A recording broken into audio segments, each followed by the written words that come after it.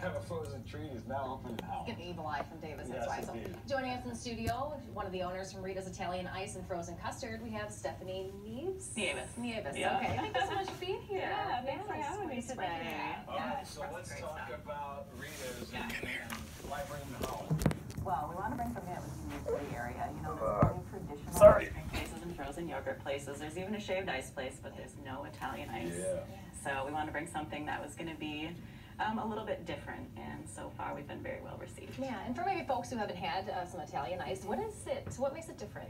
It makes well the difference between Italian ice and say like a shaved ice product is the way the product is made itself. So when you're going to get a, sh- a shaved ice, you know you, they take the ice and shave it down, and then they put in um, the syrup on top. Well, all of ours gets blended first, goes into a batch machine, and then comes out with this glorious product.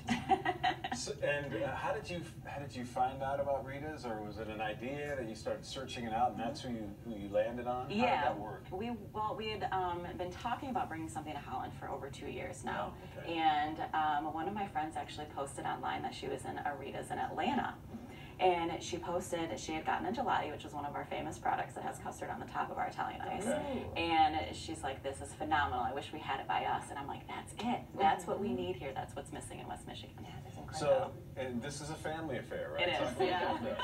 yep. Uh, the other owners are my mother and my sister, Okay. and yep, it's definitely it's been a lot of fun working with them. She's She's a good little at that. laugh. Yeah, yeah. Oh, I'm sure it's awesome. no, it's Mom just told a funny. Flavors. I don't know why I always thought it was just lemon and cherry, Yeah. but you got some other pretty good creations. We Are you do, watching we the do. I actually brought for you mango and cotton candy today. There's over 90 flavors of Italian ice.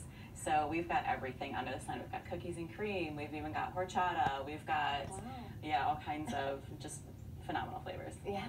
Mhm. Mhm. That's Yeah, really cool. yeah. All right, so what is the plan now? That you, I mean, is there plans to, you know, add more as you go, or is it you going to stick to the one for now? Well, we would love to do that. Um, I know um, we had spoken to uh, franchise business consultant when she was here about possibly expanding our territory a little bit. So you never know. Maybe one will come out to Grand Rapids. I know, that'll be pretty exciting. So, Yeah. yeah, again, when can folks come see you? The hours of operation, Yeah, yeah, sort? yep. We opened on Saturday. That was our official opening, and we are open every day from 12 to 9.